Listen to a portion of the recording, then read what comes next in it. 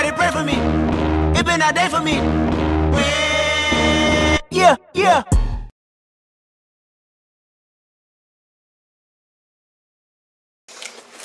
Same. Oh my god, that was so rough.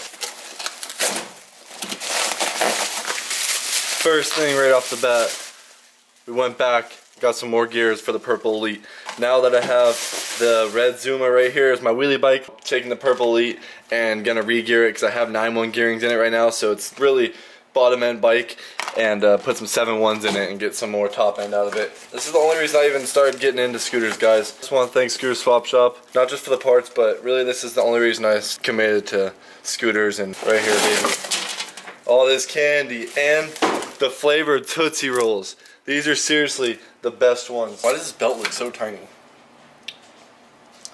Zuma, just because I didn't have any spare belts, so fan. Oh, I thought it was.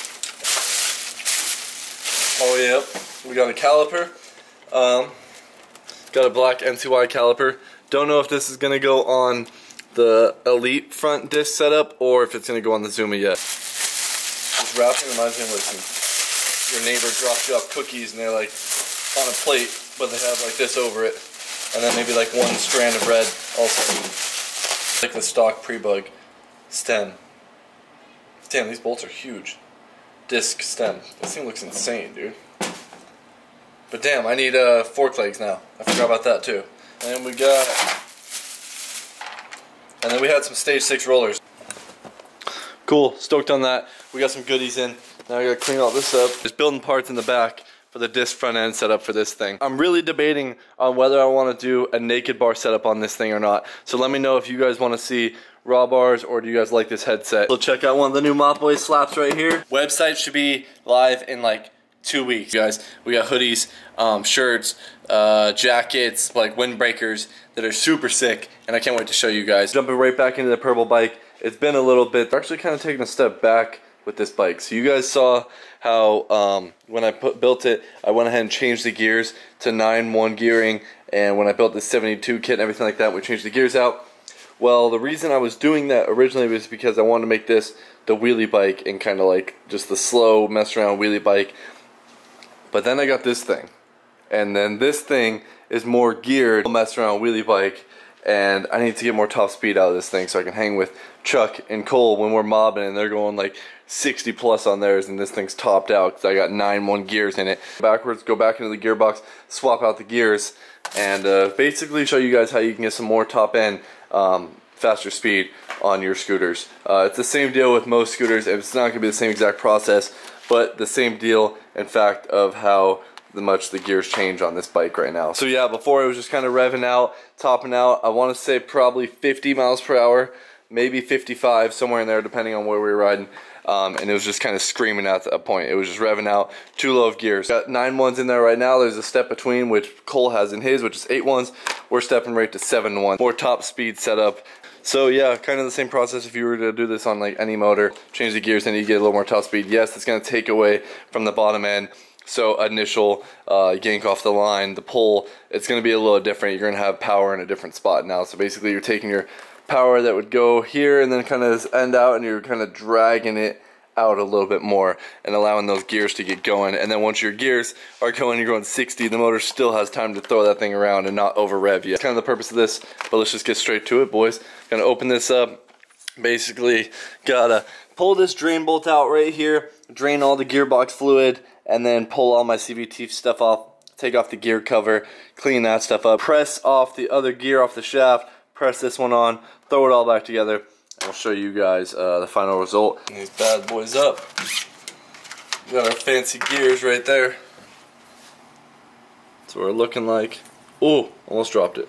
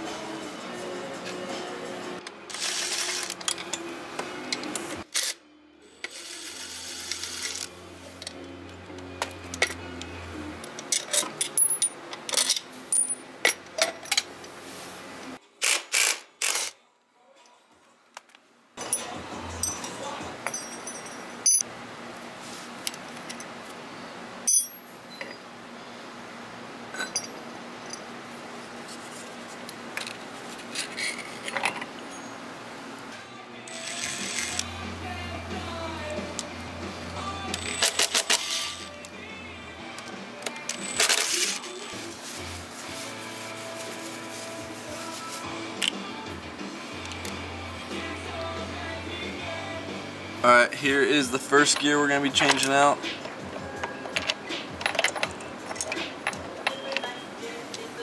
Took it off backward, you're supposed to take off the wheel first, but that one has a washer behind it.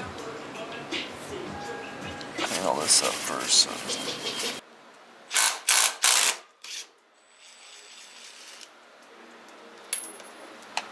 It's going to be kind of the same process, but different depending on your scooter. But here's the other gear that we're taking off. This one's the one you have to press off. You have to press this shaft back out of it.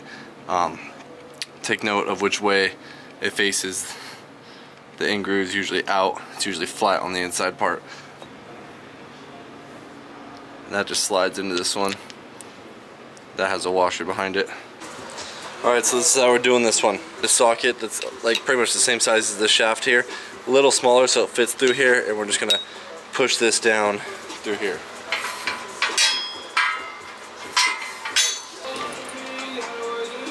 Oh, she's coming out with ease. Look at that. All the way through. Just like that. Boom. No longer needed.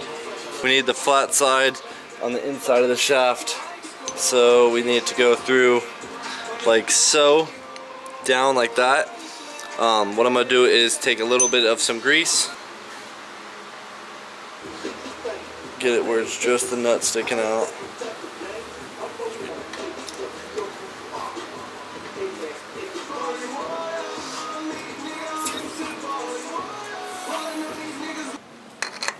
Never done it this way. Oh. Looks like that went right on. Got a good old S23 Honda Dio uh, gasket right here. That Scooter Swap Shop piece.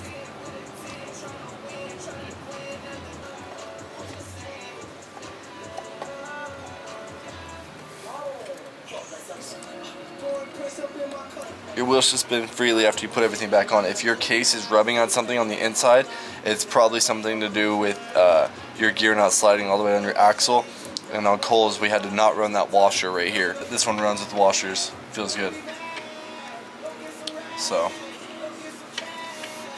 If you don't know your gearing, you can count your gearing by literally spinning this and marking this and watching how many times your wheel spins. So this should spin seven times in the amount my wheel spins, one. Now we throw all the CVT stuff back on, put in my new rollers, and uh, put it all back together and put... New slaps.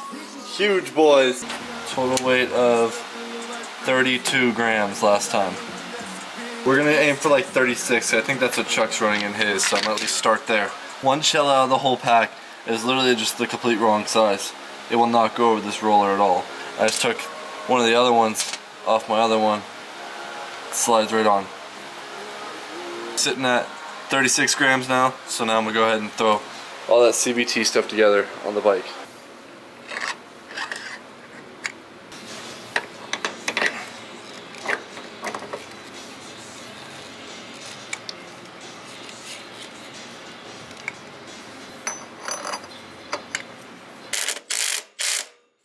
Hitting the little oil fill piece, which is kind of annoying because you literally have to fill the oil until it's level in the case. So you have to like tilt the bike to level and it's going to spill out a little bit and that's how you know you're full.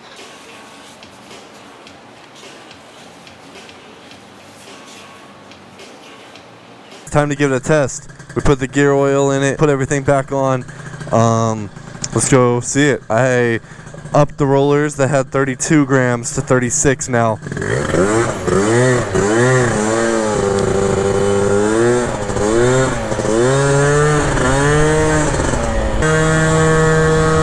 Both my tires were so flat. I noticed last time when Chuck was riding it, I was falling behind him, and I could literally see the tire being completely squished out. It all, straight away already feels different. It carries itself throughout the power band. Let's see if it still vibrates like it was too. Oh yeah.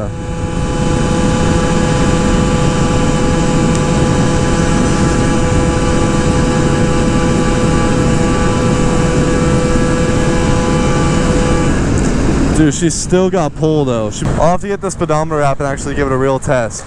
Honestly, I feel like this bike has some uh, worn crank bearings. When you're cruising like 45, 50, you feel the bike like like drag almost. It's like, I don't know, you feel it below your feet, almost like it feels like the the crank. I don't know, either that or it could be something uh, weird in my pulley or something. This crank did have a little play in it. I didn't go through this one and fully do it um, like I did the Zuma. I wish I did now and to split the cases and put the crank in. But she feels way better, like speed-wise now, for sure. Like before right here, it'd be revving out. You can just hear the difference. I'm gonna have to play a clip when we were riding the other day when I had 9-1 gearing.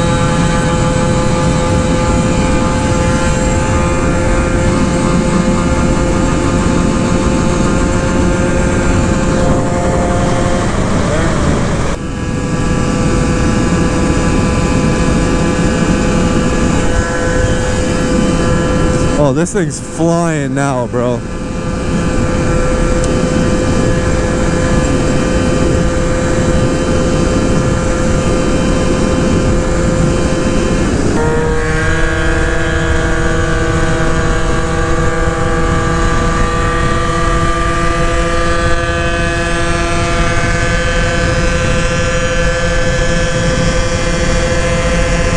It's so windy.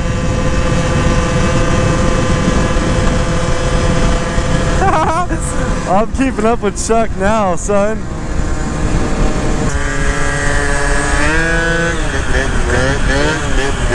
Yup. It feels like a totally different bike now with this gearing though.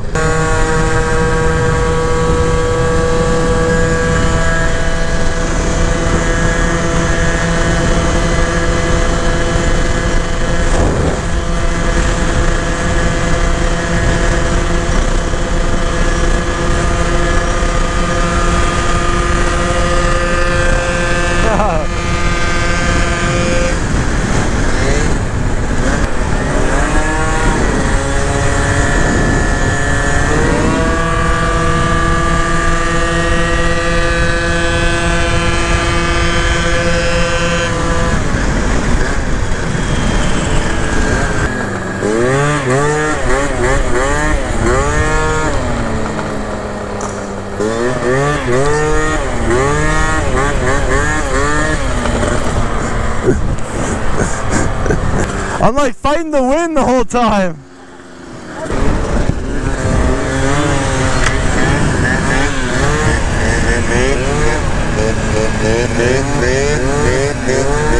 My bike's tilting so bad to the left right now. I think I have too much air in the tire.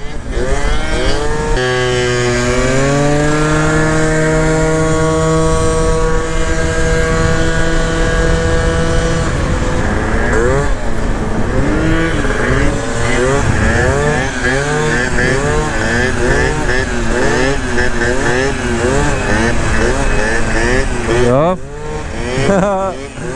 Here, screenshot this. so much better. I'll leave that low gear into the pre-bug. Alright boys, that's to do it for the Purple Elite for now. Um, really the next thing now on this thing is just the disc front end. That's all I'm waiting to do to it. And then this thing's pretty much build complete and uh, don't have any other major changes I'm to be doing to it. But we keep jumping from project to project. It's crazy in the garage. I just put in so much work on the BMW right now, on the wiring and everything like that. and got this thing so squared away and ready. It's crazy. Like I mentioned in this video, stay tuned for the merch drop coming very, very soon. I can't wait to show you guys what we got in store and I hope you guys cop some sick ass gear. That's going to do it for this one. I'll see you guys in the next one.